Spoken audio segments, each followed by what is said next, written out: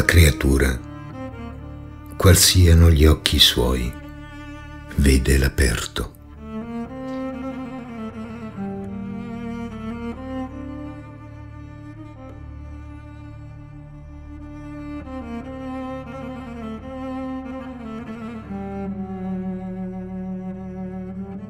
Soltanto gli occhi nostri son come rigirati, posti tutti intorno ad essa, trappole ad accerchiare la sua libera uscita.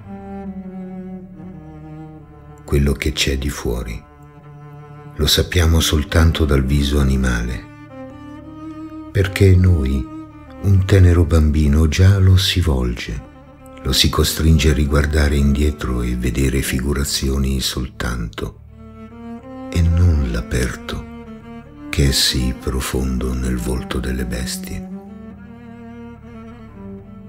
Libero da morte, questa la vediamo noi soli.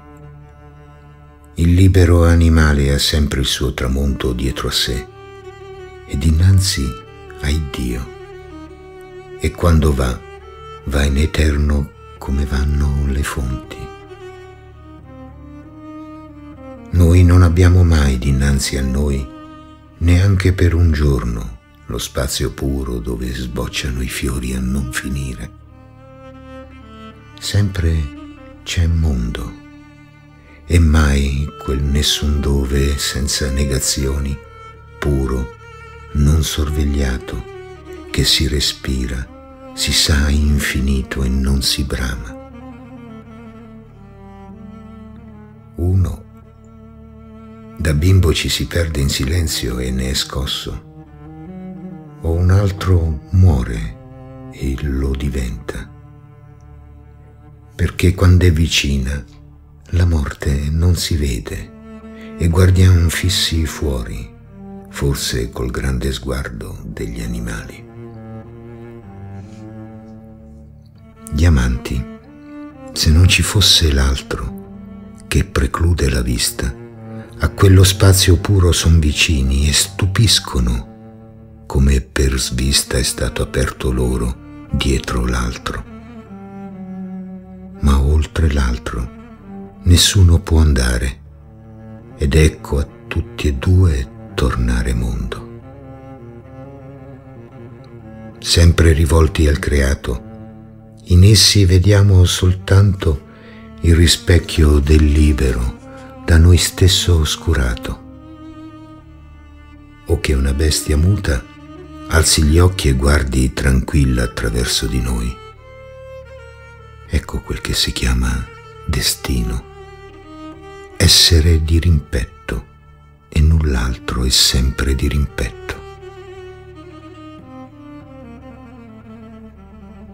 Se ci fosse coscienza della nostra specie, nel sicuro animale che pur per altra via ci viene incontro, lui ci rigirerebbe col suo andare.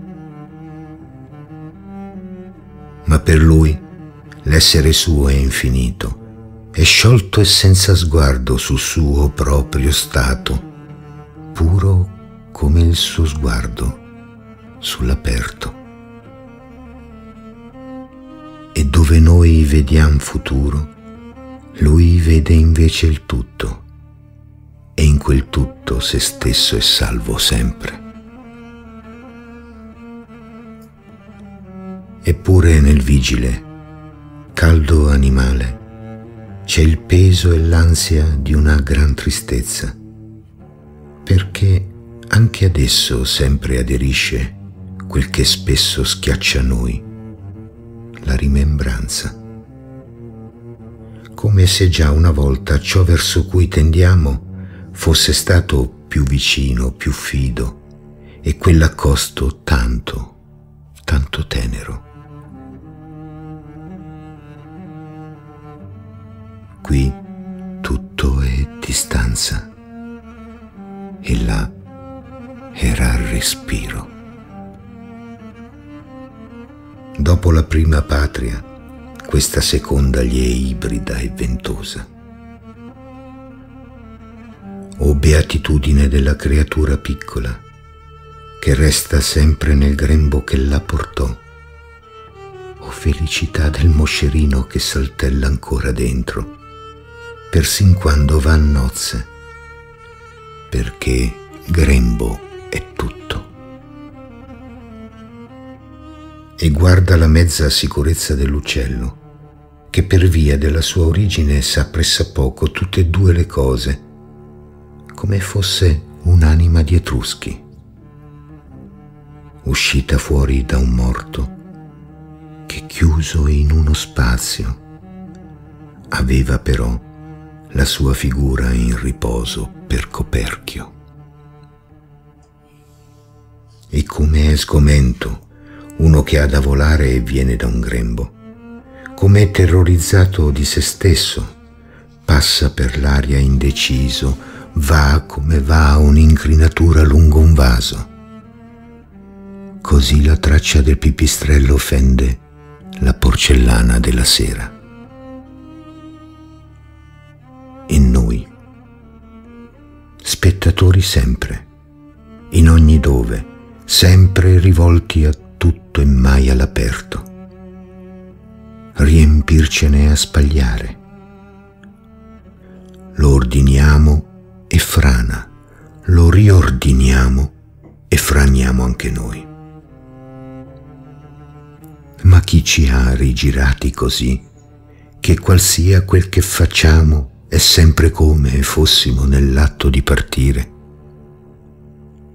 Come è colui che sull'ultimo colle che gli prospetta per una volta ancora tutta la sua valle, si volta, si ferma, indugia.